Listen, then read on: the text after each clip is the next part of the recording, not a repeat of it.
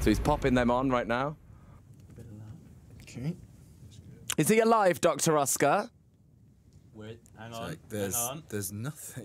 There's. A moment of delay. He's a robot Simon Cowell created. Come. Yeah. okay. Good. Okay, is that good? Live. Heart rate 68 beats per minute.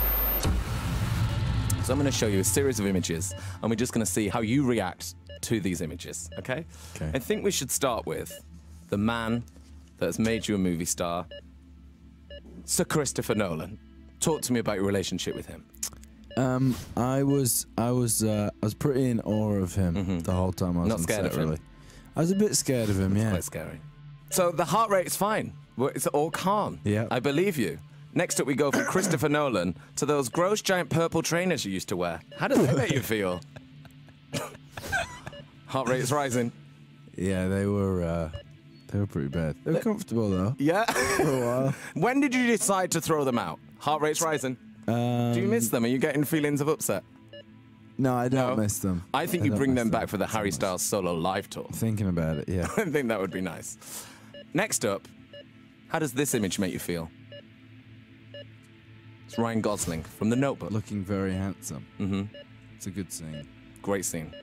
Um, Heart rate's rising to he's 80. great.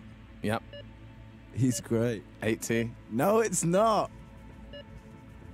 Okay, next up, we're gonna see somebody, a person, a human person, someone that you spent a lot of time with, someone that went their separate ways.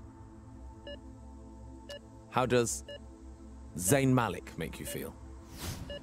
Here in a leather jacket, but no shirt. Yep.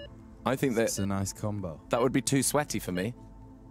Personally, for me, that would be a little too sweaty. Little too also. sweaty. Um, I heard that all the boys got in touch with you for the film, and that's dead nice. Yeah. I heard that on the entertainment news here on Radio 1. Heart's gone to a stable 67. We're spotting a pattern here. If you know them, if you trust them, it's the same level. How does money make you feel? Um, There's too much in his bank account. It's flatlined. and let the, the alarm went off when we see a briefcase of cash. And next up, we go on to actress and model Camille Rowe. How do you feel about her? I don't. I don't know her. You don't know her? No. Oh, I'm sure she's wonderful. she looks nice. I'm sure she's a wonderful person. Hmm. Heart rate lower than the purple gross trainers. Next up, it's a favourite, a Chelsea boot. Why are you shaking your head? I hate you all so much. What? Um, a Chelsea. Boot. A Chelsea boot. Heart rate's rising.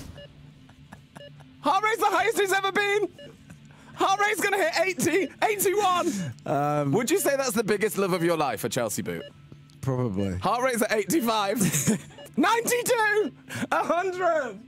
100. you can take that one home with you, Sean. We'll laminate it. I hate you. Why? You. What? You're idiots. What? You two are idiots.